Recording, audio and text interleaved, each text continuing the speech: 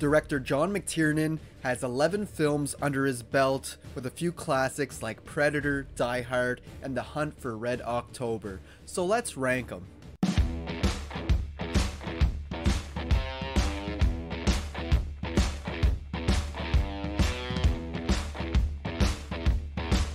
Hey guys, welcome back to the channel. Hope you're having a good one today. I'm the movie ranker, and today I'm ranking all 11 films directed by John McTiernan. Um, he had quite the career. Like I mentioned in the intro, he has a few big hits on his hands. He also has a couple remakes that he's done and a few stinkers in there as well. But we'll get into that. Make sure you drop your ranking of his films down in the comment section or at least give me your favorites. We'll have a great discussion. Also like the video, subscribe to the channel if you enjoy rankings like this, and let's get into it. So for me, easily coming into last place at number 11 is Nomads. John McTiernan's directorial debut. And you got to start somewhere. And uh, yeah, this is not a good movie. I did not enjoy it at all. It stars Pierce Brosnan, and he has this very terrible French accent throughout the film. And yeah, this movie just makes no sense. It's not scary, there's no thrills, there's not a lot of action or nothing. It's just very, very uninteresting and boring. Um, he follows around this gang, this like punk gang who drives a van, and he learns to find out that there are these like I don't know, like Inuit shape shifting entities or some shit.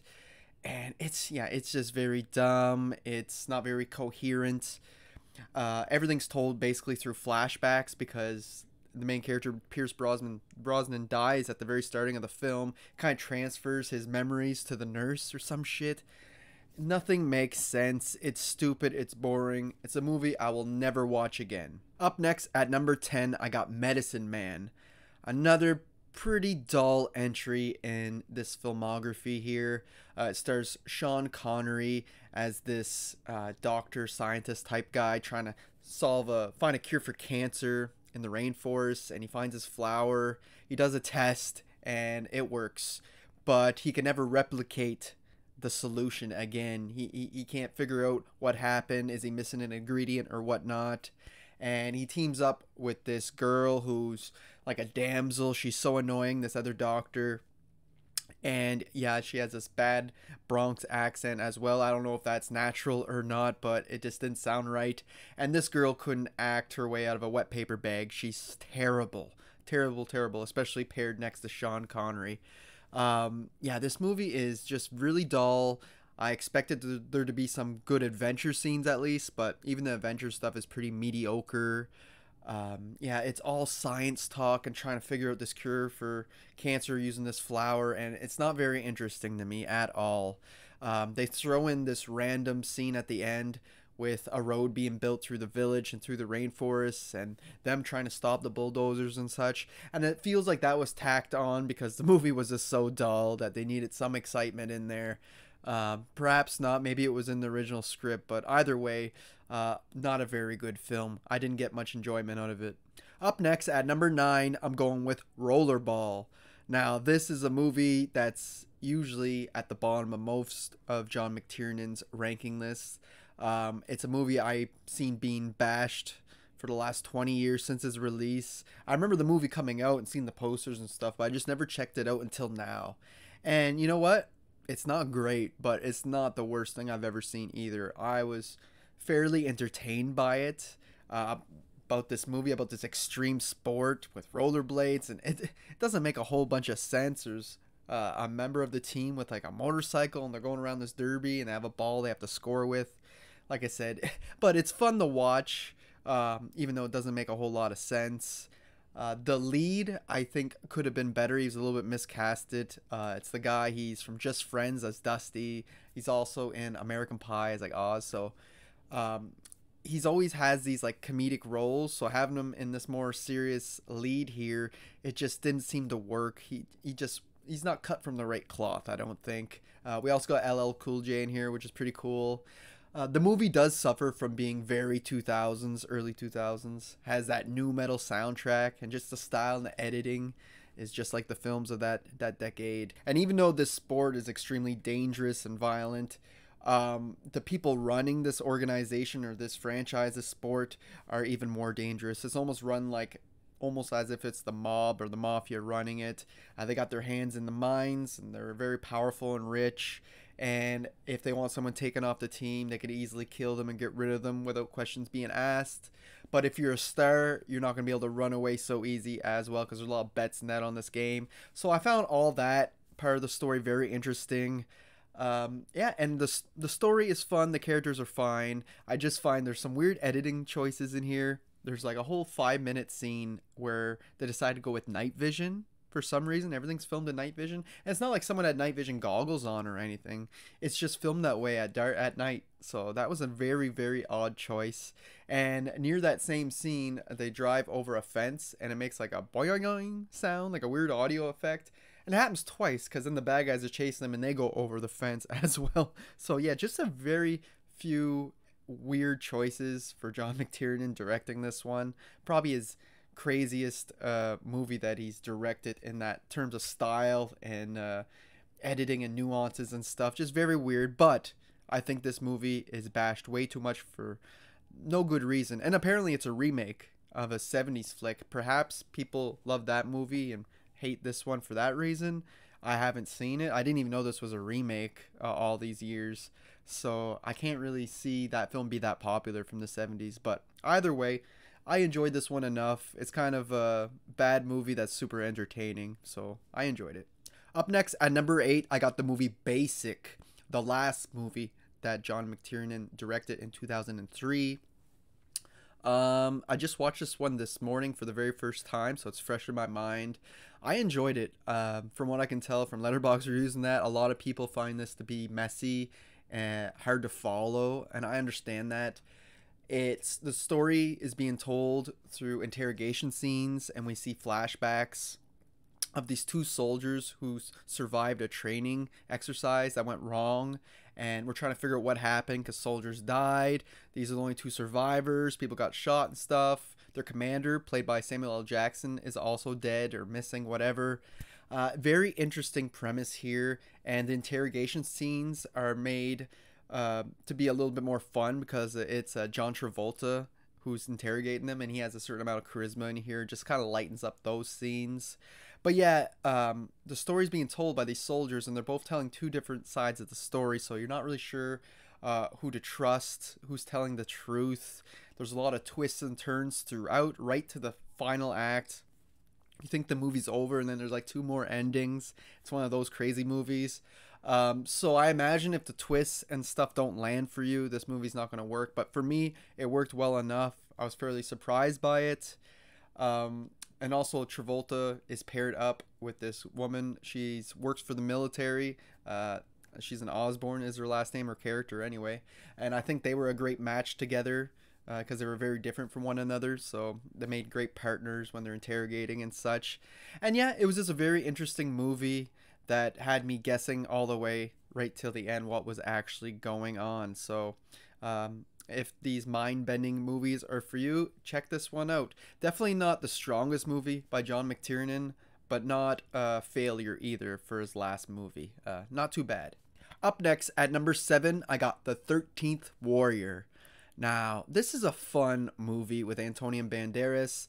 He's like an Arabic uh, ambassador who kind of gets banished up into the north or something like that, and he ends up running into these Vikings and he ends up becoming a part of their mission, their journey to take on these creatures in the mist up north who are terrorizing villages and such.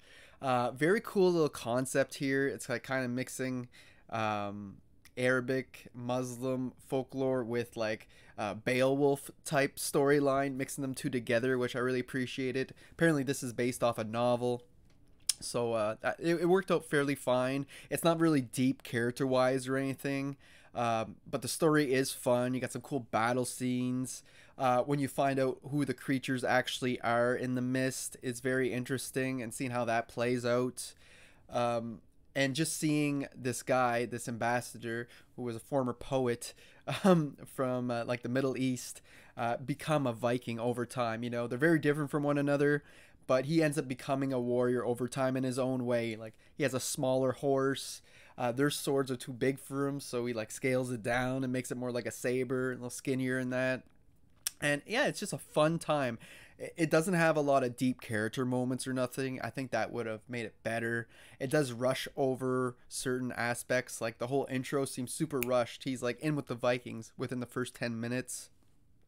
And the final, final battle, I feel like, is a little underwhelming compared to the rest of the film. But overall, I did really enjoy this. I just feel like there's a much better film that could have been made here, you know, if they would have really went in depth with the main characters and their situations and such. And I have to point out there is one funny scene in here that had me kind of roll my eyes where uh, Antonio Banderas' character doesn't speak the Viking language, the Norseman's language, right?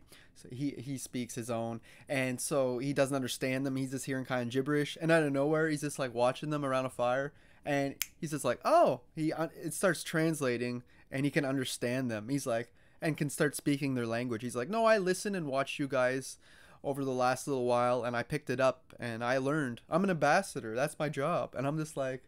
That, that was a little forced. Like they should have built up to him learning the language or whatnot, but it's just kind of like, oh no, I know it now, and I feel like that's just so that the movie can be turned into English for everybody to understand. But aside from that little nitpick and it not being very much in depth when it comes to the story and characters. It makes up for an entertainment value and its pacing. The movie kind of just flies by. So, yeah, a pretty fun watch if you ask me.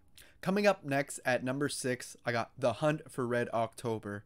Now, this is a lot of people's favorite movie from John McTiernan, and for good reason. From here on out, from number six to number one, are all amazing watches, all definitely worth checking out to everybody who never seen them and this one is based off a Tom Clancy novel. It's about this uh, stealthy Russian submarine that kind of went AWOL with its captain and crew, and you're not really sure what their intentions are.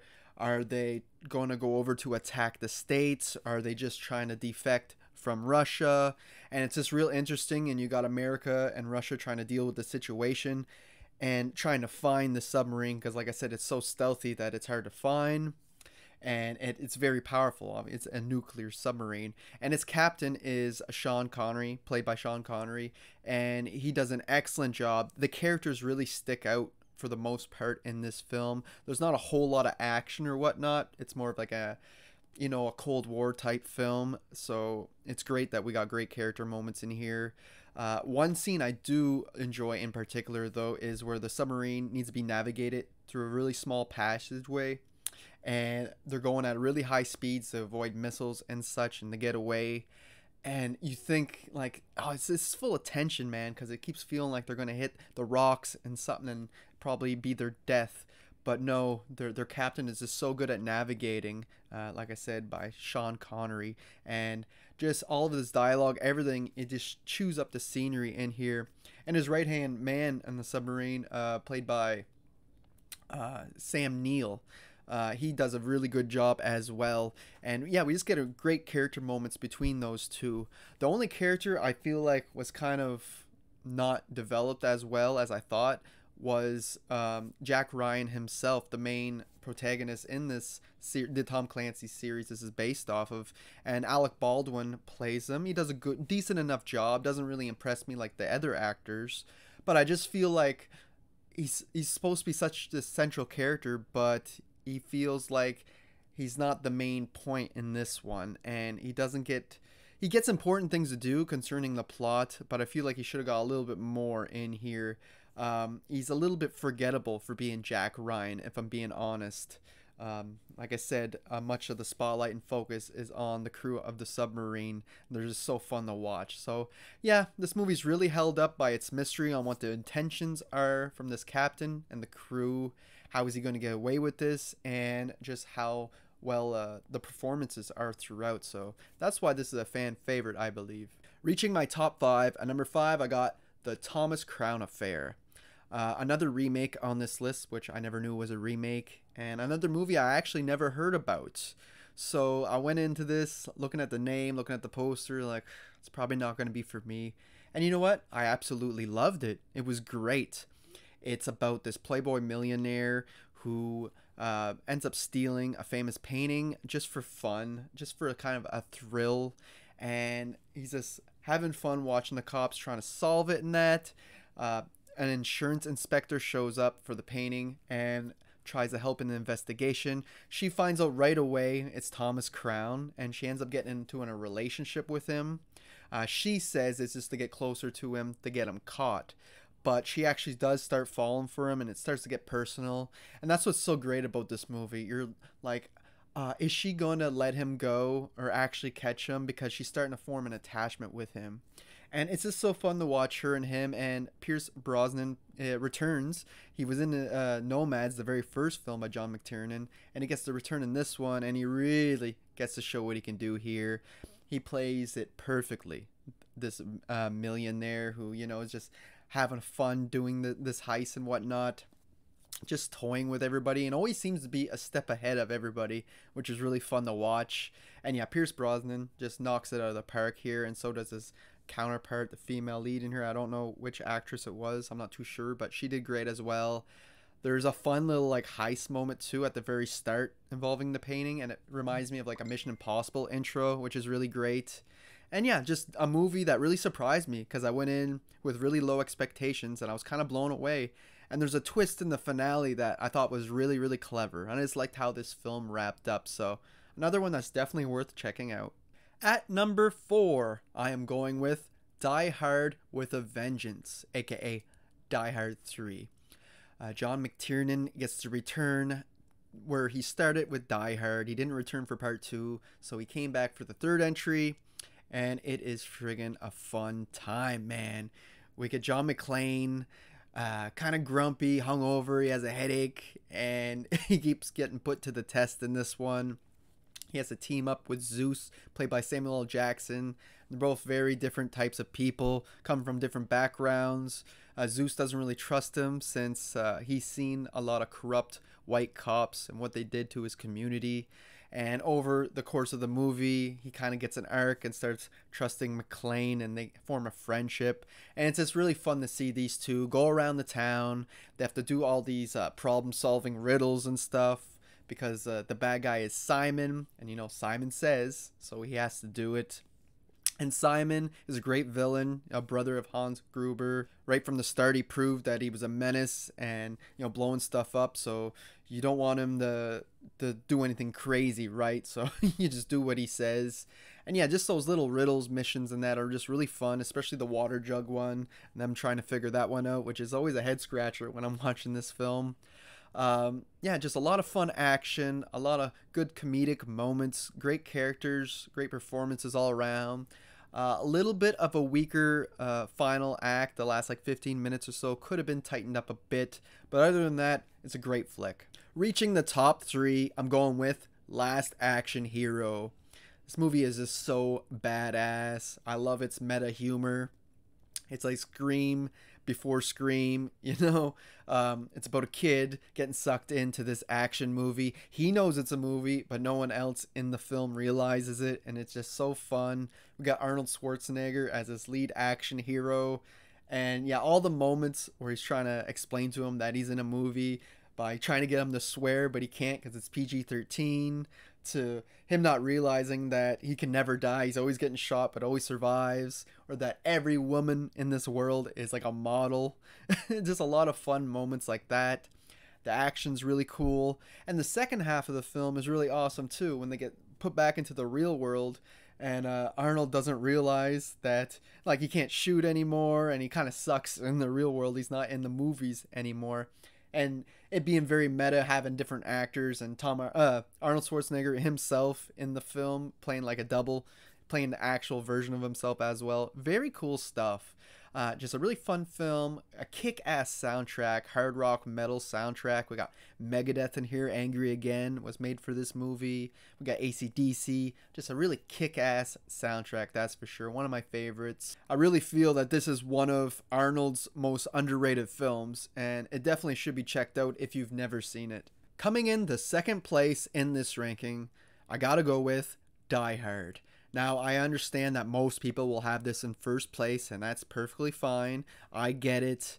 Uh, this is the probably the most influential action film of all time. It really set the template for modern action movies of today. Whether we're talking about like this one location in this uh, building with terrorists and the unlikely hero that comes in and saves the day. It's all here. It really wasn't done a whole lot before this and not to this perfection.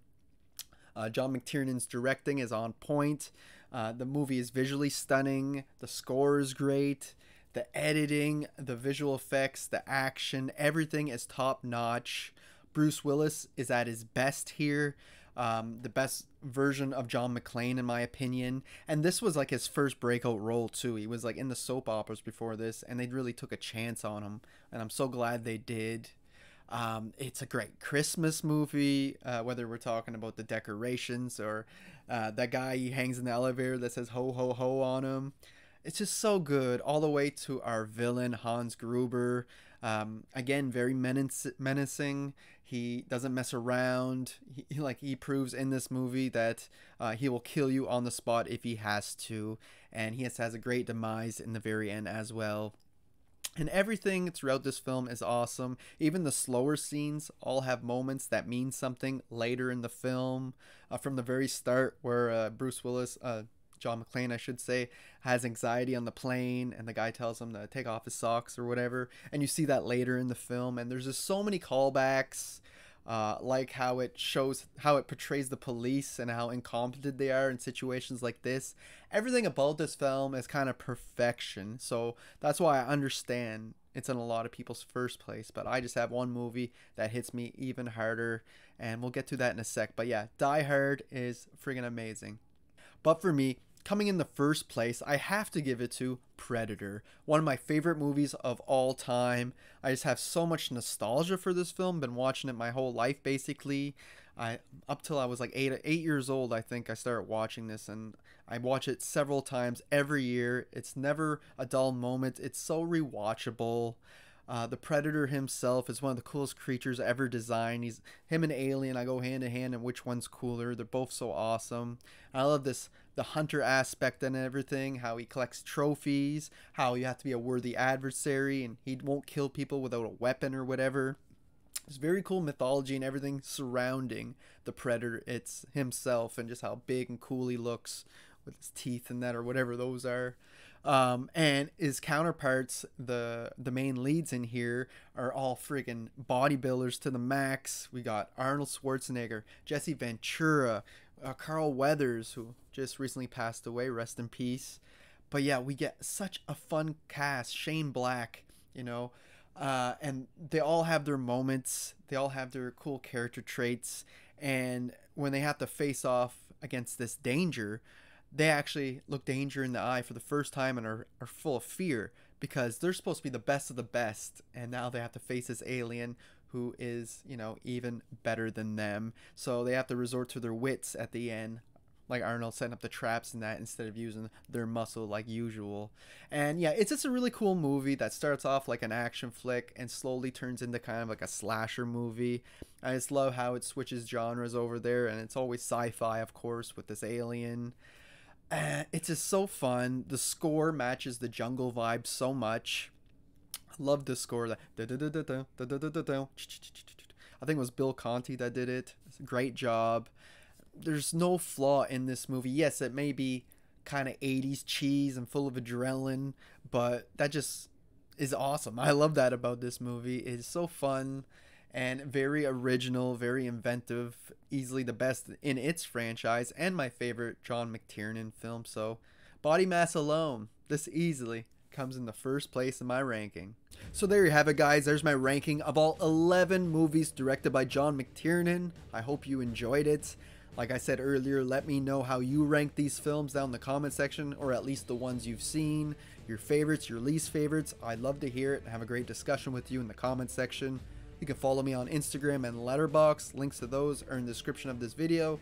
Even though I don't go on Instagram a whole lot, you can use it for messaging or whatnot. Um, like the video, subscribe to the channel if you enjoy rankings like this, and until next time guys, thanks for watching.